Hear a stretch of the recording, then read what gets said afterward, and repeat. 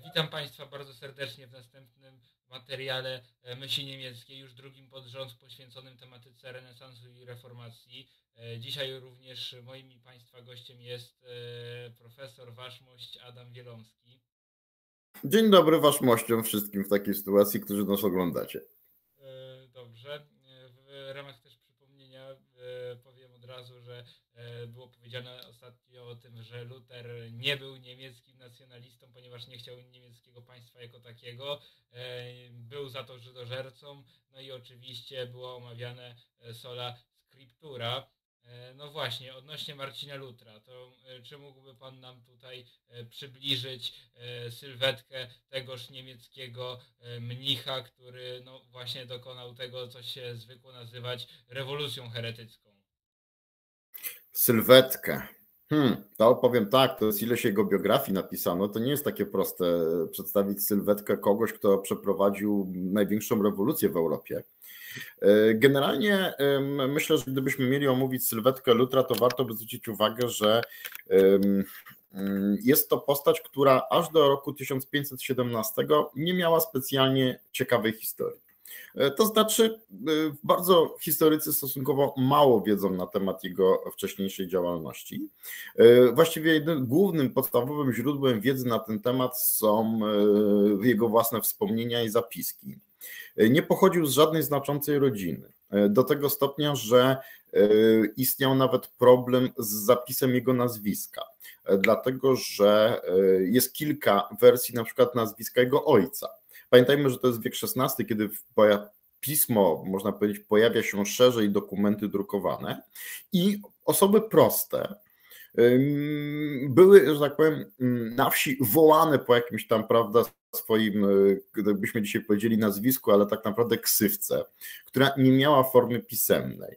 E, dlatego też e, jego ojciec występuje gdzieś tam, czytałam, w dwóch dokumentach się pojawia. Raz się pojawia jako Marcin Luther, pisany przez TH w środku, Luther, a, pojawia się, a drugi raz pojawia się jako Luder przez y, D. E, to jest bardzo znamienne, bo pokazuje, że tak powiem, że jest to osoba, można powiedzieć, znikąd e, społecznie, dlatego że każdy, nie wiem, arystokrata, mieszczanin, osoba wykształcona miałaby jakby no, skodyfikowaną pisownię nazwiska, ponieważ występowałaby częściej w różnego rodzaju dokumentach. Także pochodził z takiej, bym powiedział, rodziny nijakiej, Y, społecznie. Y, księdzem został, znaczy właściwie proszę, że nie księdzem, zakonnikiem został dość przypadkowo. Y, wiemy, że zakonnikiem został w ten sposób, bo posiadał osobowość dosyć, bym powiedział, zabobonną, tak, nazwijmy to tak, dlatego że zdarzyło mu się kiedyś, że zaskoczyła go straszliwa burza na otwartej przestrzeni. I wtedy przerażony tą burzą, jakimś piorunem, który obok niego uderzył w drzewo, ślubował Bogu, że jeśli przeżyje tą burzę, to e, poświęci swoje życie, e, że tak powiem, życiu zakonnemu.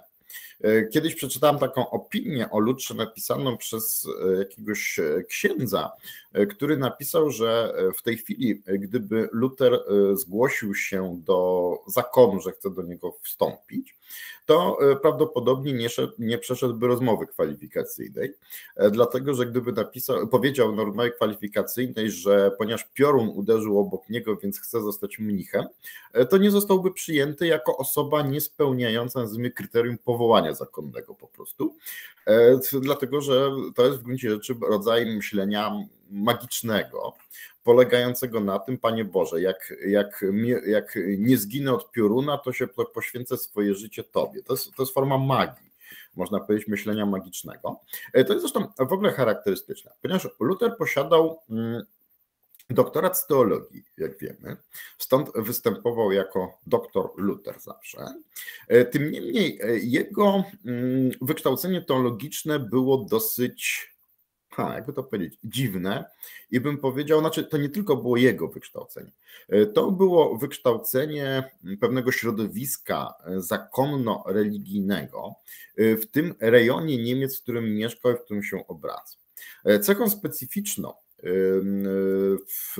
wiedzy teologicznej Lutra, o tym pisze wielu specjalistów, jest całkowicie, całkowite oparcie się na teologii świętego Augustyna, czyli na teologu jeszcze no, późno starożytnym, e, pod którego mm, olbrzymim wpływem znajdowało się wczesne średniowiecze, do mniej więcej do XIII wieku.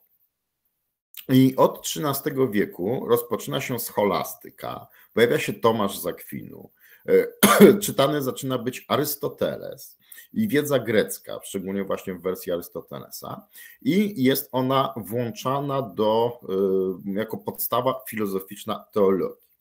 I e, to jest ciekawe, że jak się zdaje, wiedza Marcina Lutra na temat Arystotelesa, tomizmu, scholastyki jest nikła. Y, po części wynika to z tego, że sam y, jest w zakonie nawiązującym do tradycji świętego Augustyna, ale też jak na doktora teologii, tak bym to powiedział, jego wiedza teologiczna na temat teologii ostatnich 300 lat no jest prawie zerowa. E, nie zna w ogóle scholastyki. Jeśli zna, to tam e, tylko i wyłącznie kilku, zupełnie takich bym powiedział, no, dzisiaj traktowanych jako taka boczna odnoga e, scholastyki teologów typu Gabriel Biel, którzy, tak powiem, są traktowani dzisiaj jako taka scholastyka no, schyłkowa, zdeprawowana nieco filozoficznie i tak dalej. Z myślą świętego Tomasza z Akwinu Luter się w ogóle nie próbuje zmierzyć. Także nie jest mu znana cała teologia ostatnich 300 lat y, średniowie, y, późnego średniowiecza. E, również kiedy mm, jedzie do Rzymu, jest tam zbulwersowany renesansowym Rzymem. E, tym, co my dzisiaj określamy jako zabytki renesansowego Rzymu, a co wtedy było, że tak powiem, no, pierwszym e, nowością akurat, prawda, architektoniczną, rzeźbą i tak dalej. E, na Lutrze wywołuje to piorunujące wrażenie pogaństwa, antychrześcijaństwa i w ogóle sekularyzmu i laicyzacji. Jeśli dodamy ten jakby wstrząs jego po obejrzeniu sobie renesansowej Italii, również renesansowych kościołów, czyli jakby tego, co się w Italii w XV-XVI wieku dzieje intelektualnie w kulturze. I do tego dodamy jego zupełną no, brak znajomość tomizmu i scholastyki, to dochodzimy do wniosku, że mamy do czynienia z mnichem, który mm, argumentuje e, przeciwko całej nowoczesnej myśli chrześcijańskiej z perspektywy świętego Augustyna i augustynizmu, czyli z perspektywy mniej więcej 300 lat do tyłu minimum. To jest mniej więcej tak, jakby ktoś dzisiaj piorunował współczesny świat XXI wieku z perspektywy filozofii wieku XVIII, czyli oświecenia. I nie znając wszystkiego tego, co było później, ewentualnie traktując to jako jedno wielkie dzieło szatana, antychrysta i pogaństwa. E, dlatego Luther e, w całej swojej teologii jest głęboko, można powiedzieć, reakcyjny. E, ja w swojej książce na temat protestantyzmu sformułowałem taką tezę, że Luther to jest tak, no, przedstawiając tego w kategoriach bardziej politologicznych dla mnie typowych, jest swego rodzaju rewolucyjnym konserwatystą. E, to znaczy mm, kimś, kto jest zapatrzony w teologię, która już nie obowiązuje, czy jest stanowi boczny nurt teologiczny przynajmniej od 300 lat i z tej perspektywy piorunuje całą mu współczesną myśl ludzką e, jako jedną wielką herezję, laicyzm, bezbożność i tak dalej, próbując w sposób rewolucyjny, tak nie zawaham się tego użyć określenia, e, w sposób rewolucyjny powrócić do teologii sprzed 300 lat. To jest mówię, tak jakby dzisiaj powiedzieć, że wszystko, co ostatnie 300 lat ludzkość E, powiedziała, napisała i wymyśliła, to jest jeden wielki błąd i wracamy do XVIII wieku i wszystko, co jest po XVIII wieku, to jest herezja, antychryst. To jest bardzo specyficzny e, sposób myślenia dla e, Lutra i to powoduje, że jego, jego postać, można powiedzieć, no, charakteryzuje się głębokim reakcjonizmem E, intelektualnym, pomieszanym z rewolucyjnym sposobem bycia. Dlatego, że Lutra e, w stosunku do wszystkich innych mm, nowatorów religijnych czy kontestatorów religijnych e, dzieli jedna różnica o charakterze mentalnym, a która jest różnicą już bardzo nowoczesną. I to jest rys nowoczesny teraz w osobie Lutra. A mianowicie jest taka, że Luther doszedł do wniosku, że nie zgadza się z całym nauczaniem Kościoła, doktorów Kościoła średniowiecznych, bo zgadza się z ojcami Kościoła tymi wczesnośredniowiecznymi, nie zgadza się z ilomaś soborami, papiera, papieżami i tak dalej. I nie zgadzając się ogólnie z całym Kościołem od mniej więcej 300 lat, zadał sobie pytanie, to jeżeli z jednej strony jestem ja, a z drugiej strony jest Kościół ostatnich 300 lat, jest y, kilkudziesięciu papieży w tym czasie, kilka soborów, y, dziesiątki doktorów Kościoła, to jeżeli ja z tym wszystkim się nie zgadzam, to ja mam rację. I to jest ta, bym powiedział, nowoczesność Lutra, e, dlatego że ludzie do tej pory, teologowie, uważali, że jeżeli ja, moje, y, nie zgadza się z całą tradycją katolicką, no to generalnie być może problem jest w, w moim myśleniu. A Luther w tym sensie jest nowoczesnym i prezentuje jakby takie myślenie rewolucyjne, że jeśli ja moje nie zgadza się z Kościołem, to znaczy, że Kościół się myli, a moje ja yy, mówi prawdę. Yy, zwracono zresztą uwagę yy, w literaturze krytycznej wobec Lutra na nadużywanie przez Lutra yy, iś niemieckiego, ja. Oczywiście e, niemiecki iś jest jakby w strukturze gramatycznej języka niemieckiego, dlatego że przy wszystkich odmianach czasownika e, w języku niemieckim pojawia się zawsze iś, ale u Lutra jest również to o tyle pogłębione, że kiedy pisze szuka prawdy, to też pisze to zawsze w kategoriach, e, nazwijmy to, liczby pojedynczej. To znaczy ja. Ja sądzę, ja uważam, ja myślę. Jest tam zapisany bardzo głęboki indywidualizm religijny. No i w tej kwestii oczywiście radykalnie różni się on od świętego Augustyna którego uważa za swojego mistrza intelektualnego, dlatego że święty Augustyn właśnie to ja mocno zwalczał ponieważ uważał, że ja musi się podporządkować tradycji i nauczaniu Kościoła. I z tej perspektywy ja zawsze polemizował i dyskutował ze wszystkimi reformatorami religijnymi, heretykami i tak dalej.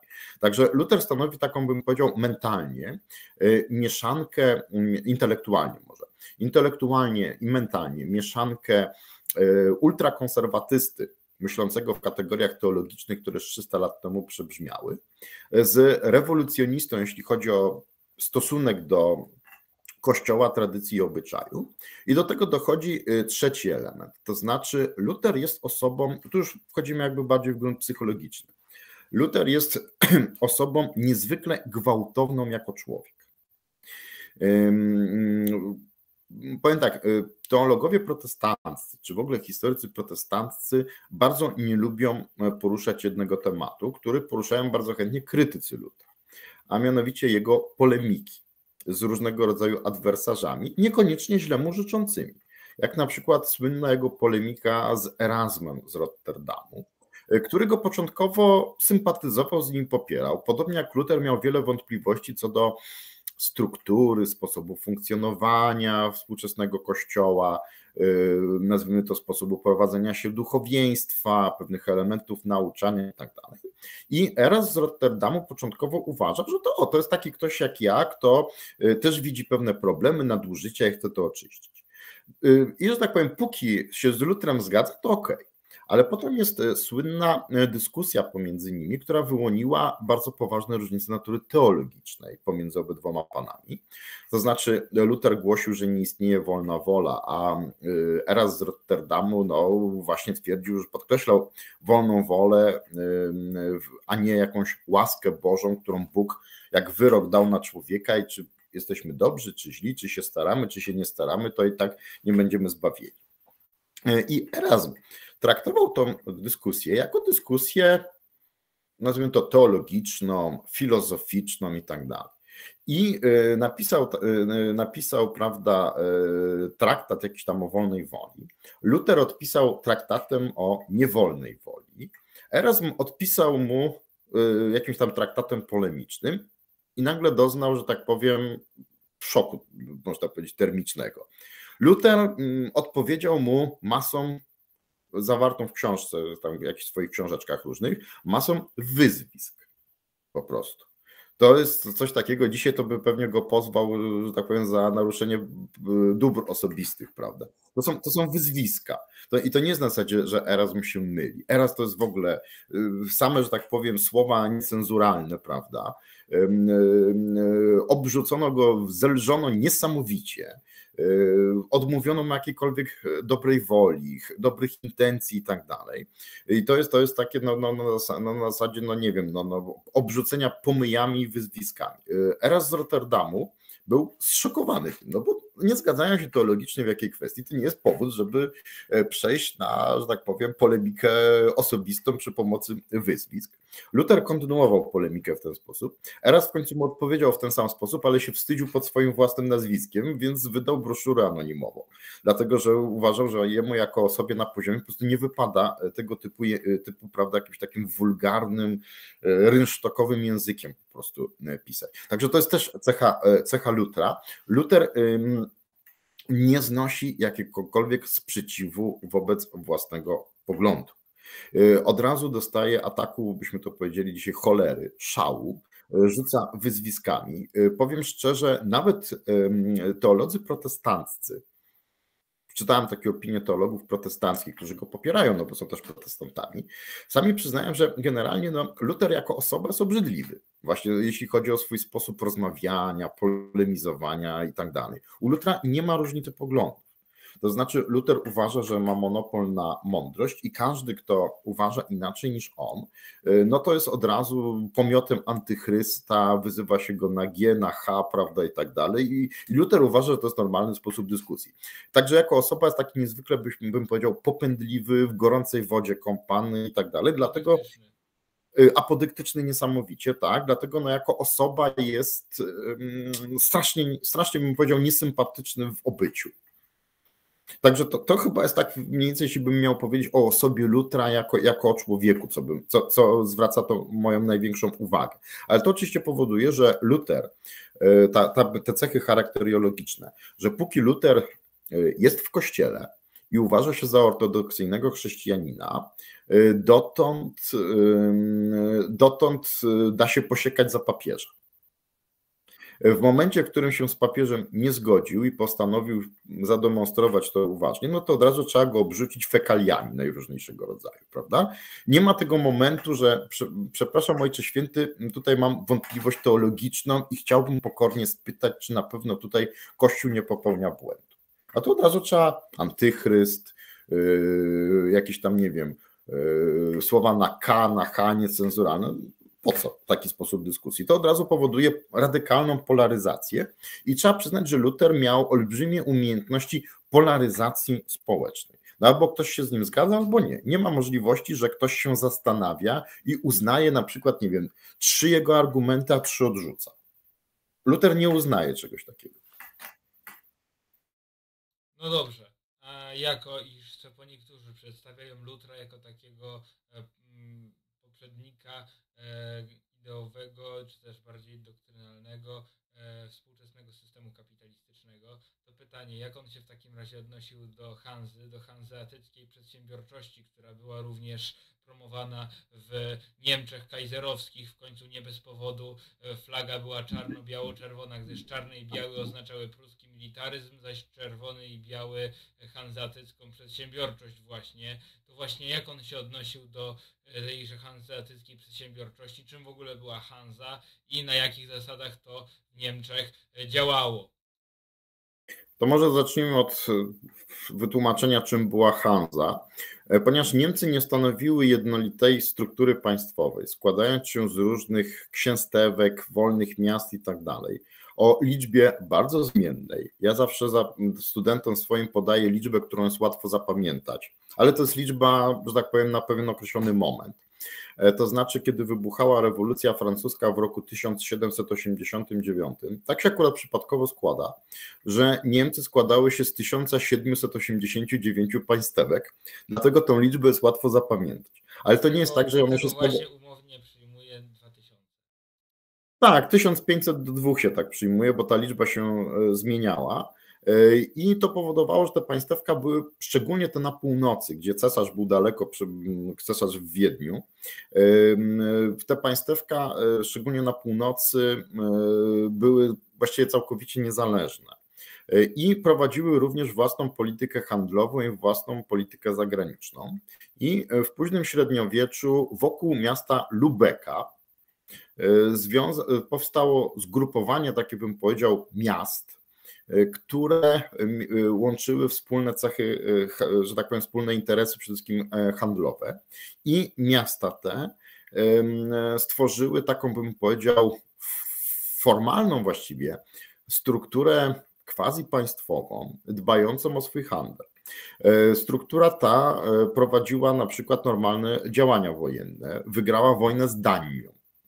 E, zupełnie prowadząc niezależnie od całego cesarstwa tą wojnę. Do miast, do, do, do tej struktury miejskiej włączały się również miasta w Niderlandach, holenderskie, włączały się również miasta E, głównie niemieckojęzyczne, to znaczy miasta e, w Inflantach, czyli dzisiejszej Nadbałtyce, prawda?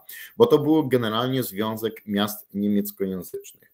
E, rzeczywiście traktowane są one w tej chwili jako mm, symbol niemieckiej przedsiębiorczości, w ten sposób w niemieckiej jakby kulturze istnieją po dzień dzisiejszy. Powiem szczerze, nie znalazłem nic na temat Hanzy w pismach Marcina Lutra. Ale to jest bardzo możliwe, że nie ma, że nie znalazłem po pierwsze pism Lutra jest ponad 100 tomów, więc nie twierdzę, że przeczytałem wszystkie, bo byłaby to nieprawda. To jest raz. Po drugie, Luther generalnie się mało interesował problemami ekonomicznymi. Y, wbrew temu, co y, przypisano mu później, późniejsza tradycja mu przypisała, nie zajmował się w ogóle ekonomią i tego nie interesowało. Wizerunek, że Luter i luteranie byli związani gdzieś tam wokół ekonomii, e, stworzył na przełomie XIX i XX wieku, mówię na przełomie, bo nie pamiętam dokładnej daty opublikowania książki, Max Weber w swojej książce Duch demokratycznego kapitalizmu, e, która jest też w Polsce bardzo popularna i miała kilka wydań. E, problem polega na tym, że książka ta była wielokrotnie atakowana i krytykowana jako błędna. Dlaczego? Dlatego, że mm, Weber e, uważa się, że wziął jako podstawę swoich badań nie Lutra, tylko wziął przede wszystkim za podstawę swoich badań e, Kalwina i e, Kalwinów. I dlatego też przypisał, znaczy on tak właściwie tego nawet nie zrobił wprost, E, tylko tak została ta książka odczytana, ponieważ jakby no, pisał o protestantach jako takich. E, została, to, została ona odebrana jako pewne odczytanie e, Marcina Lutra jako właśnie ojca kapitalizmu, ale on tam o tym Lutrze to specjalnie niewiele pisze. Jak mówię, czasami jest tak, że autor coś napisał, a w powszechnym odbiorze społecznym Y, przypisano mu pewne tezy. Szczególnie często to robią osoby, które samej książki nie przeczytały, tylko czytały o niej gdzieś tam takie, bym powiedział, jakieś skrótowe relacje. Weber de facto przeprowadził analizę kalwinizmu i wpływ kalwinizmu na powstanie kapitalizmu, który z pewnością jest duży. Jeśli chodzi o samego Lutra, to ja powiem tak, są pewne elementy w jego nauczaniu, o których możemy powiedzieć, że są prekapitalistyczne. Pre, bo trudno mówić o kapitalizmu w Niemczech, o kapitalizmie w Niemczech w XVI wieku. I są pewne elementy zdecydowanie anty. Zacznijmy od tych anty. Y, po pierwsze, element natury teologicznej. Jak już wspomniałem, w tej dyskusji z Erasmem z Rotterdamu E, Luther e, bardzo mocno sprzeciwia się istnieniu wolnej woli człowieka. Uważa, że nasze działania są zdeterminowane przez boską przedwiedzę, czy też boską wszechwiedzę, i że Bóg jakby z góry e, napisał nasze życie w momencie, w którym żeśmy się urodzili, Nasze czyny, że tak powiem, nasze myśli, nasze grzechy zostały spisane w, w, zanim się urodziliśmy. I nie posiadamy wolnej woli i to, co robimy, i nam się wydaje, że to my robimy, jak chcemy, na przykład to, że prowadzimy teraz tą rozmowę, to Luther by powiedział, że no, Bóg w momencie, w którym żeśmy się narodzili, to już wiedział, że tą rozmowę przeprowadzimy. I teraz pojawia się w takiej sytuacji pytanie natury, jakby, mm, jakby to przełożymy to twierdzenie teologiczne na realia ekonomiczne. Czy jeżeli Bóg przewidział z góry wszystkie nasze działania, to czy możemy mówić o naszej wolności działania, która uchodzi za podstawę kapitalizmu? No, no właśnie, ja też mam tą wątpliwość, czy, czy, czy można tutaj, z tego wniosek by było, że to Bóg zaplanował kapitalizm, prawda, a nie sami ludzie go stworzyli. E, być może, że w jakichś skrajnych kręgach, nazwijmy to korwinistycznych, taka teza by się, że tak powiem, przyjęła jako fajna, no ale generalnie, ale generalnie nie zakładam, że Bóg zajmuje się, e, że tak powiem, tworzeniem jakichś systemów e, ekonomicznych i że ma to z punktu widzenia Bożego planu zbawienia jakiekolwiek znaczenie. Dlatego też ten element, właśnie ten brak wolnej woli, uważa się za element y, antykapitalistyczny. Drugim elementem, już bardziej praktycznym, y, Lutra, jeśli chodzi o y, antykapitalizm, jest jego niesamowicie gwałtowne i radykalne potępienie pożyczek na procent, czyli tak zwanej lichwy. Wucher niemiecki, jest taki jego tekst przeciw Geigen, tam, prawda, E, Wucher, czyli, czyli przeciwko, przeciwko lichwie. E, czyli oznacza to po przełożeniu na język współczesny potępienie jakiejkolwiek działalności bankowej. Co zresztą było zgodne i z nauczaniem Kościoła, a szczególnie z nauczaniem świętego Augustyna. W teologii świętego Augustyna było to zresztą bardzo ciekawie tłumaczone. To może tytułem takiej anegdoty, bo mało kto o tym wie, skąd to się wzięło w nauce Kościoła. A mianowicie ojcowie Kościoła twierdzili, że, i tu Luter się z nimi zgadzał, że bogactwo, zamożność, zysk biorą się z pracy. Z pracy, że tak powiem, ludzkich rąk, pracy intelektualnej, pośrednictwa, nawet pożyczek. Tyle tylko, że ponieważ biorą się z pracy, to oznacza, że zysk może być wytwarzany tylko w czasie pracy. Jeżeli na przykład pożyczą panu 200 zł na 10% procent na miesiąc, to y, za miesiąc musi mi pan zapłacić 220 y, zł. I, I, problem polega, i tak to tłumaczyli ojcowie Kościoła, również święty Augustyn, że gdybym przez ten czas pracował i mam do wyboru albo te 200 zł zainwestować w coś, pracować na tych 200 zł, zarobić te 20 zł przez ten miesiąc, albo pożyczyć Panu i Pan mi je przyniesie, bo Pan będzie pracował. Tylko, że ojcowie Kościoła i święty Augustyn tłumaczą w ten sposób. Problem polega na tym, że człowiek przez ten miesiąc oprocentowania pożyczający nie tylko będzie pracował, będzie na przykład również spał. A to oznacza, że jego zysk tak samo się powiększa w czasie spania. A więc nie jest zyskiem z pracy. I dlatego y, nauczanie y, teologiczne Kościoła katolickiego y, potępiało pożyczanie na procent. I Luther całkowicie ten pogląd przyjął, potępiając wszystko, co byśmy dzisiaj określili działalnością bankową. Dlatego, że zresztą dotyczy nie tylko Lutra, ale w ogóle całego nauczania przeciwko lichwie. Według tego nauczania mm, popełniałby grzech każdy z nas, kto posiada konto bankowe na którym jest oprocentowanie, nie wiem, pół procenta rocznie nawet, dlatego że w tym czasie przez rok śpimy. Więc pojawia się jakby no, zysk, który nie został przez nas wypracowany. Luther tutaj w tej kwestii jest niezwykle konserwatywny. E, gdzie w takiej sytuacji e, można znaleźć w nauce Lutra elementy prokapitalistyczne? Można w moim przekonaniu znaleźć e, przede wszystkim mm, w jednym elemencie, który u Lutra się pojawia, ale nie stanowi podstawy jego teologii. Zostaje on potem przejęty, rozwinięty radykalnie przez Kalwina. I to, co Weber pisze o protestantyzmie, tak naprawdę dotyczy kalwinizmu. To znaczy, znaczy dwa elementy, przepraszam, które są u Lutra, a które się potem w kalwinizmie są radykalizowane. E, element pierwszy e, to jest e, predestynacja, czyli wiara w to, że w momencie, kiedy się rodzimy, Bóg jednych predestynował do zbawienia, a innych do potępienia. I ponieważ zaprzecza to wolnej woli, to wyprowadziliśmy z tego wcześniej tezę, że ponieważ zaprzecza to wolnej woli, zniechęca do jakiejkolwiek działalności. Ale można to również interpretować inaczej.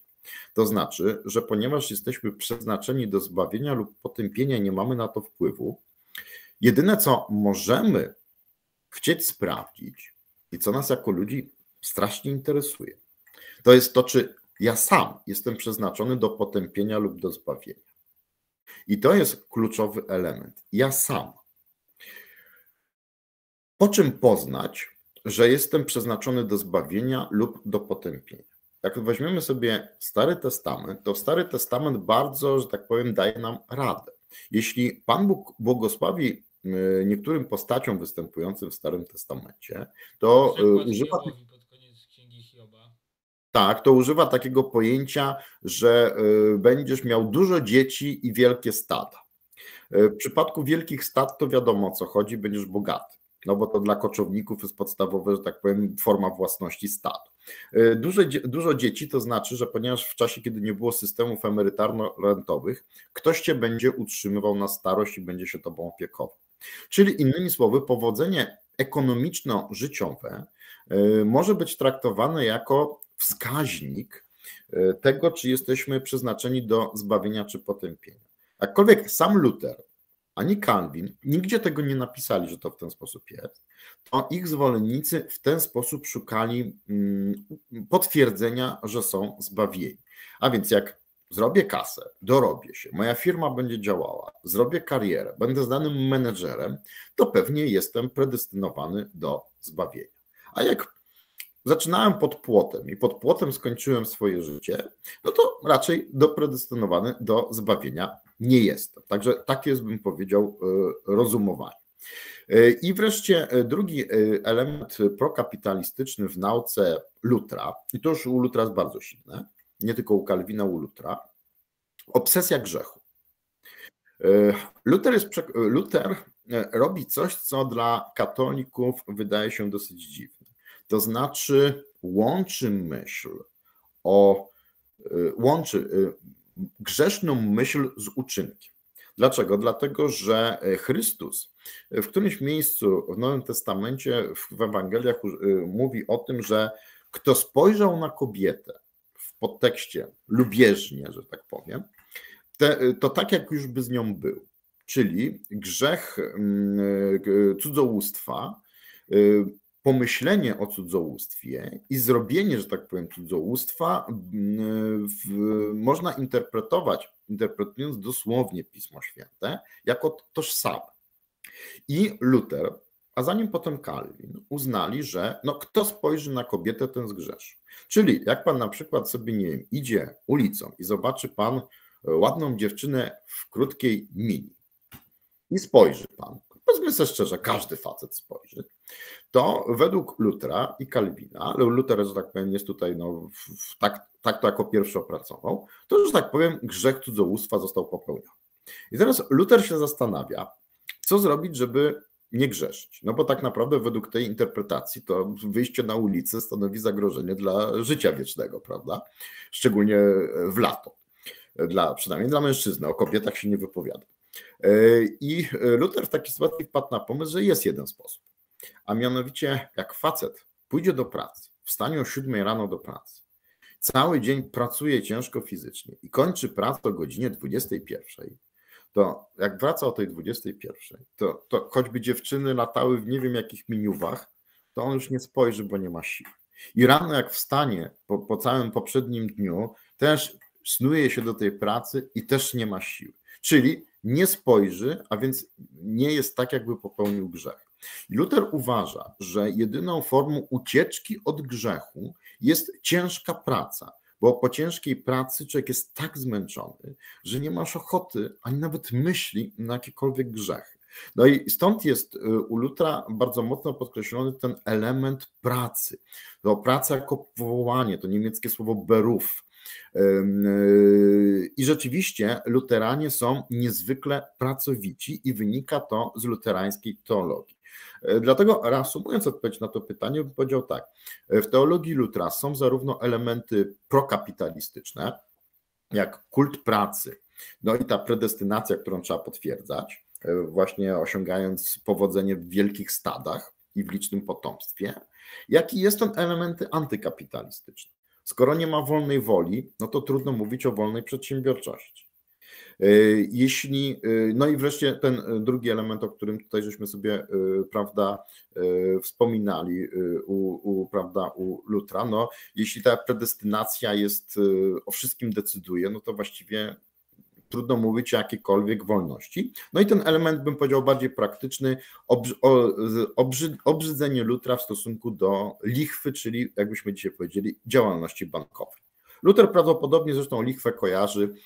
Ja nie znalazłem tego w jego tekstach, ale to, to, to jest typowe dla tamtej epoki, że lichwą nie zajmują się chrześcijanie, czyli zajmuje się nią jedno wyznanie, o którym nie powiemy głośno jakie, dlatego że e, można dostać bana na YouTube cóż, to podejście do lichwy mi się bardzo skojarzyło tutaj z islamem, e, no ale idąc tutaj w takim wypadku w głąb e, teologii luterańskiej, e, mamy tak zwane pięć głównych zasad luteranizmu.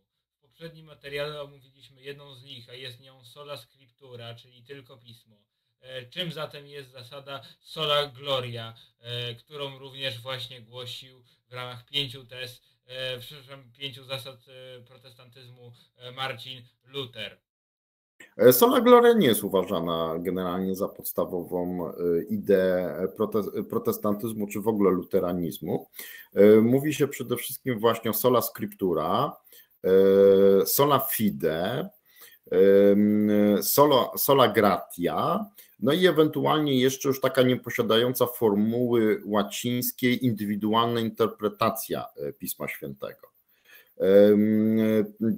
Czyli może zacznijmy tak. Mieliśmy co w poprzednim programie? Sola Scriptura, tak? Tak, tak, tak. Sola Scriptura była tam już. E, to może w dwóch słowach przypomnę. E, sola Scriptura to jest, oznacza to, że jest tylko pismo po, po polsku. O cóż chodzi? Z punktu widzenia nauczania Kościoła katolickiego, i obowiązuje to każdego katolika, istnieją dwa podstawowe źródła wiary katolickiej: pismo i tradycja. Pismo, czyli e, tekst e, Starego i Nowego Testamentu jako źródło wiary. I drugie źródło jest to tradycja katolicka. Tradycja katolicka pojęcie dosyć szerokie. Wchodzi w to zarówno tak zwane tradycje niepisane Kościoła, przekazywane ustnie, Klasyczną tradycją tego rodzaju jest chrzest niemowląt. Nie ma ani jednego fragmentu w Piśmie Świętym, który uzasadnia chrzest niemowląt. Przeciwnie, święty Jan e, chrzcił dorosłych, prawda, ludzi. Do tego dochodzi, e, jako tradycję Kościoła uważa się mądrość ojców Kościoła, mądrość doktorów Kościoła średniowiecznych i wreszcie nauczanie soborów, papieży i tak dalej. Y, Luther odrzuca to wszystko i twierdzi, że jedynym źródłem wiary jest samo Pismo Święte. Stąd jest właśnie sola scriptura. Powiedzmy sobie szczerze, nie jest tym do końca konsekwentny w tym sensie, że uznając, y, że jest tylko Pismo Święte, sam uznaje za jego interpretatora słusznego świętego Augustyna. I nie cytując zwykle świętego Augustyna, no bo nie uznaje zasady autorytetów właśnie tradycji, no podąża za świętym Augustynem w swojej interpretacji. Kalwin jest tutaj bardziej, bym powiedział, uczciwy intelektualnie, dlatego że w pismach Kalwina w sumie święty Augustyn, jak gdzieś czytałem, jest cytowany około 700 razy. Jako, jest to więcej cytatów niż ze wszystkich teologów e, zebranych razem wziętych, cytowanych we wszystkich pismach Kalwina. Także to jest, to jest zasada sola scriptura. Teraz mamy zasadę sola gracja. E, tylko łaska. Jak to tłumaczyć prosto?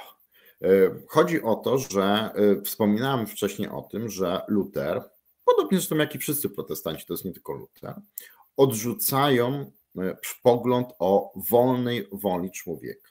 Luther mówi o niewolnej woli człowieka.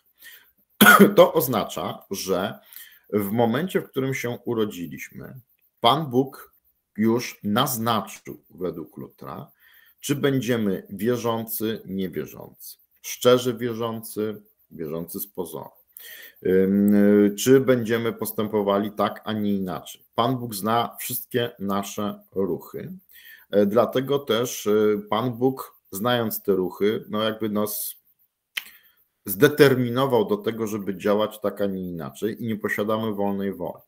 E, dlatego Pan Bóg już wie, czy będziemy zbawieni, czy potępieni po naszej śmierci. Wie, ponieważ wszystkie nasze ruchy sam zaprojektował i nam je nakazał. E, w takiej sytuacji e, jedynym, czym może, może być, że tak powiem, o zbawieniu decyduje łaska Boga. Czyli Bóg jednych dał łaskę, że będą czynili dobrze i będą wierzyli i będą zbawieni, a innym tej łaski nie dał i co by nie robili, zbawieni nie będą, ponieważ nie mogą czynić dobrze bez łaski Boga. Jest to pogląd, który dla chrześcijan, tradycyjnych katolików, a również co ciekawe dla większości e, protestantów, był poglądem, który się nie przyjął. Protestanci bardzo szybko ten pogląd odrzucili. A prawosławnych? O, trudne dla mnie pytanie. Słabo siedzę w prawosławiu, ale nie potrafię na to pytanie odpowiedzieć. E, myślę, że myślę, że w prawosławiu chyba też tego nie ma, bo oni się opierają na świętym Augustynie, e, e, bym powiedział ortodoksyjnie interpretowanym. Bo może trzeba by tu powiedzieć, jaka jest różnica pomiędzy nauką katolicką i nauką protestancką dotyczącą predestynacji wolnej woli. To jest, nie ukrywam, najtrudniejszy element do wytłumaczenia e, w ideach Lutra i Kalwina. E, I e, problem, który tłumaczę studentom co roku na wykładzie. I po wykładzie mniej więcej jest tak: połowa mówi, że widzi różnicę pomiędzy stanowiskiem świętego Augustyna i Lutra, a druga połowa mówi, że nie widzi. Problem jest na tyle trudny, problem jest trudny z tego prostego powodu, że jest to kwestia pewnego postrzegania, bym powiedział, linii czasu.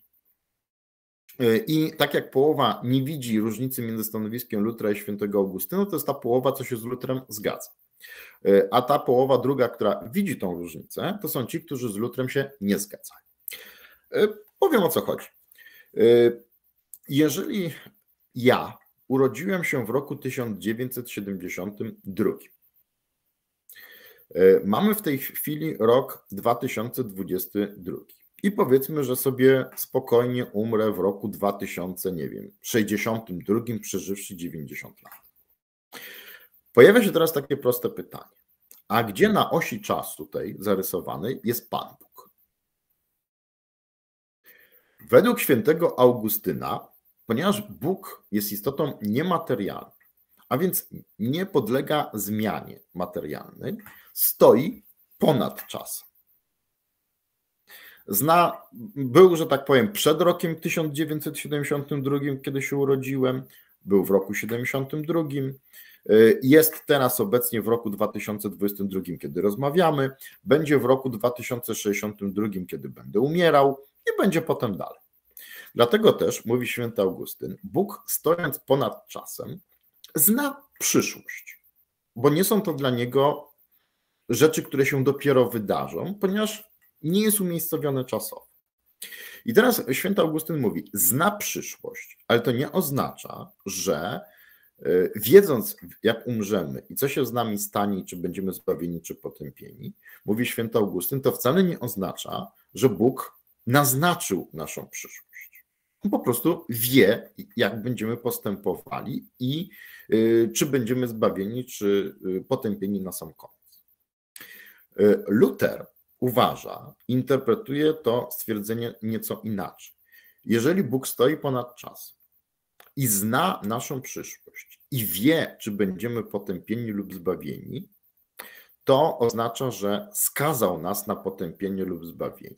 Dlaczego? Bo jeżeli jest wszechmocny i wie, że na przykład będę potępiony, to przecież mógłby swoją wszechmocą coś z tym fantem zrobić, żeby mnie nie potępić. Więc jeśli mnie nie ratuje i pozwala mi, żebym używał swobodnie swojej wolnej woli, to znaczy, że podpisał wyrok na Adama Wielomskiego, będziesz potępiony. E, ja powiem tak, tłumaczę to co roku studentom i dochodzę do wniosku, że widzę co roku. Połowa przyjmuje rozumowanie Kościoła katolickiego, że to oznacza, że Bóg tylko zna przyszłość, tak jakby film od końca obejrzał, prawda? A druga połowa zgadza się z Lutrem, że jak zna przyszłość jest wszechmocny, to znaczy, że skazał Albo można to tak jeszcze bardziej obrazowo powiedzieć na przykładzie sagi filmowej Gwiezdnych Wojen, że jak skoro czwarty epizod się ukazał jako pierwszy, no to jako widzowie oglądamy, oglądając pierwszy, drugi albo trzeci epizod, wiemy co się stanie później, ponieważ y, ta tak zwana tak. oryginalna trylogia już się ukazała w filmach. Zgadza się. Zgadza się. Ja to tłumaczę co roku studentom i co, co roku sala jest podzielona na pół. Na tych, którzy rozumieją tą różnicę między świętym Augustynem i Lutrem i na tych, którzy nie rozumieją tej różnicy. E, ponieważ ja to tłumaczę, staram się to rozrysować na tablicy, tą oś czasu, prawda, i tak dalej. I tłumaczę to od 20 lat i co, co, co, przez 20 lat na, jest ten problem, to znaczy, że po prostu rozumowanie Lutra, znaczy powiem tak, ja osobiście widzę tą różnicę między świętym Augustynem i Lutrem, nie wiem jak pan. Widzę jak najbardziej. Tak, e, ponieważ połowa ludzi mniej więcej tej różnicy nie widzi, to znaczy, że rozumowanie Lutra do połowy dociera i po prostu tak jest.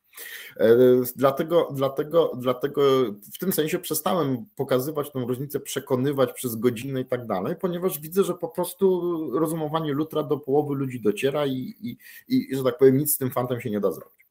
E, I Luther też tej różnicy nie dostrzegał.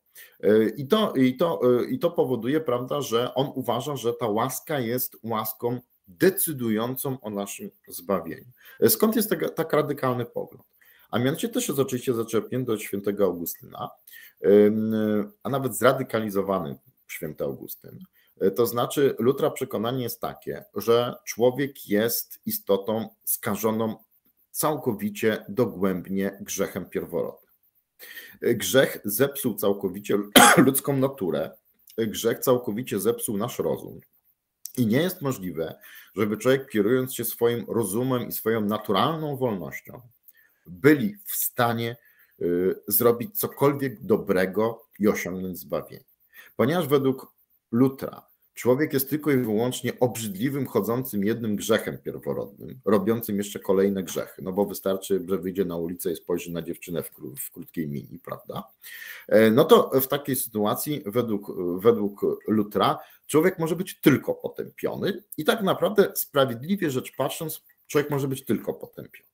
A więc w takiej sytuacji, jeśli ktoś będzie zbawiony, to dlatego, że Pan Bóg z niewiadomych powodów, kaprys, jak mówi to y, Calvin, bon plaisir y, Boga, czyli no, kaprys trzeba by powiedzieć po polsku, rzuca niektórym ludziom koło w postaci łaski i mimo, że byli tacy, jacy byli, Bóg nadaje ich życiu, dziełu, yy, że tak powiem, neutralizuje to zło i traktuje jako uczynki dobre. I jak traktuje jako uczynki dobre, to dzięki temu niektórzy, co niektórzy, będą mogli być zbawieni. Także na tym polega doktryna łaski i predestynacji Boga. Doktryna, która u Lutra nie jest specjalnie mocno zarysowana, jest zarysowana przede wszystkim u Kalwina, zradykalizowana skrajnie. Kalwin yy, mówi o straszliwym dekrecie Boga i bardzo to podkreśla, tę straszliwość dekretu, że są wybrani do zbawienia lub nie. Ortodoksyjny nawet kalwinizm twierdzi, że my jesteśmy już wybrani do zbawienia lub potępienia, zanim zostaliśmy poczęci. I zanim się urodziliśmy, Bóg wydał już ten straszny dekret i nic się nie da zrobić. Nawet jak ktoś będzie, matka Teresa z Kalkuty, według tego rozumowania, jeśli nie była predestynowana i nie otrzymała łaski, to mimo, że całe życie zajmowała się biednymi w Kalkucie, będzie potępiona jako mega grzesznica. E, także to jest druga ta zasada reformacji. E, co my tam dalej mamy?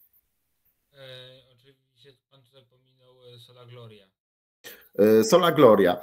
E, no to, no to jak mówię, to nie jest jakaś taka ten, przez Lutera specjalnie, e, specjalnie podkreślana, to jest właśnie ta, ta wszechmoc Boga, który może ludzi wyciągnąć, skazać i tak dalej, więc dlatego Boga trzeba wielbić, bo jest takim, można powiedzieć, władcą absolutnym nad światem. Zasada Sola Gloria jakby wynika z, z tych wcześniejszych przesłanek. W takim razie na czym polega zasada Solus Christus, E, promowana właśnie e, i zapewne wymyślona, choć tutaj nie byłbym co do tego pewny przez Marcina Lutra. Dlatego nie byłbym tego pewny, bo było już tyle herezji, że gratuluję kreatywności komuś, kto wymyśli no, nową, e, na którą już ktoś wcześniej nie wpadł. A nie, wymyśleć nowe się nie da, można tylko dokonać kompilacji wcześniejszych, tak naprawdę. E, Luther też zresztą e, nie wymyślił zupełnie nowej. E, to jest w ogóle ciekawe, ponieważ bardzo mocno potępiał, jak cały Kościół XVI-wieczny, Jana Husa, no i w Lipsku w czasie debaty z Kajetanem, Kajetan mu e, udowodnił zbieżność jego test z Husem i czytałem, że po zakończeniu tej debaty, którą Luther straszliwie przegrał, właśnie został znokautowany przez Kajetana, e, wrócił podobno do domu i się wziął za czytanie pismu Husa i doszedł do wniosku, że ten Hus tak głupi nie był. Także, tak rzeczywiście, tak, więc, więc rzeczywiście tak jest. E, jeżeli chodzi o zasadę sola, solus Christus, czyli tylko Chrystus, to jest zasada, która, która jest trochę powiązana z zasadą sola gratia, w tym sensie, że tylko Chrystus zbawia. Czyli wiara w Chrystusa tylko i wyłącznie zbawia, a nie uczynki. Dlatego to jest powiązane z sola gratia. Jest również związane z doktryną, nauką o powszechnym kapłaństwie, to znaczy z przekonaniem, że wszyscy możemy być kapłanami, co oznacza, że, że nie istnieje oddzielny stan kapłański, tylko mamy wybór pastorów na przykład dlatego że każdy może być nauczycielem Chrystusa i nie potrzeba do tego specjalnych święceń, ordynacji i tak. Dobrze, w takim razie już kończąc temat e, tych zasad protestantyzmu. To samodzielna interpretacja Biblii trzeba wprowadzić. No, na czym polega zasada e, sola fides, e, która również wybrzmiewała z ust Marcina Lutra, a w zasadzie chyba raczej pismni, jeżeli Sola fide oznacza tylko wiara. E, to oznacza, że uczynki nie mają żadnego zbawienia, żadnego znaczenia dla zbawienia. Już żeśmy o tym mówili, bo zauważmy, że te wszystkie sola różne i solus, one się po części pokrywają. Y, są, że tak powiem, y, on, z czego to wynika? Mianowicie Luther często używał tego tylko, z czymś pomieszane y, i można z tych wszystkich formuł tylko coś wydobyć pewnie ze 20 zasad reformacji. Problem polega na tym, że one się po części pokrywają ze sobą, ponieważ Luther no jakby te same pojęcia próbował ponazywać i używał często tego tyle z różnymi rzeczownikami i, i to się pokrywa. Myślę, że zasadą istotną tutaj, którą trzeba by jeszcze powiedzieć, jest zasada samodzielnej interpretacji Pisma Świętego. Y, co ciekawe, ona czasami jest traktowana jako sola scriptura. Y, część sola, sola scriptura, czyli Właśnie że jest tylko pismo. tutaj teraz nie przytaczałem, ponieważ również zgadzam się z tym, że to jest część sola scriptura. Tak. Y, generalnie, generalnie samodzielna interpretacja Pisma Świętego wynika z negacji tradycji katolickiej i negacji autorytetu katolickiego. Bo powiem tak, jest Pismo Święte i podstawowym źródłem wiary dla katolika jest Pismo Święte w interpretacji tradycji.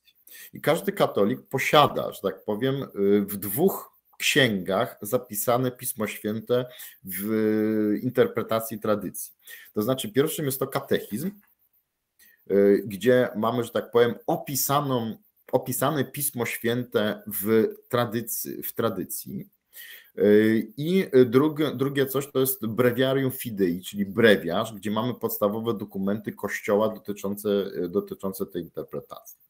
Y, I w momencie, w którym Luther odrzuca całą tradycję katolicką, czyli pisma ojców, doktorów, soborów, papieży i tak dalej, no to pojawia się pytanie, jeżeli są tak zwane mało zrozumiałe fragmenty Pisma Świętego, no to teraz jest pytanie, to kto ma to wytłumaczyć, co to znaczy? I do tej pory zawsze uważano, że są pewne fragmenty Pisma Świętego, które są niezrozumiałe i które mogą wejść w sprzeczność z innymi fragmentami. Dam bardzo prosty, klasyczny przykład. Jest w którejś z Ewangelii, już nie pamiętam w tej chwili tak od ręki z której, takie stwierdzenie, że e, do Chrystusa przy, przy podszedł któryś z apostołów i mówi, że przysz, przyszli, przyszła Twoja matka i Twoi bracia. I teraz pojawia się pytanie, jeżeli Chrystus miałby braci, to jak wygląda sprawa niepokalanego poczęcia yy, i tego typu rzeczy.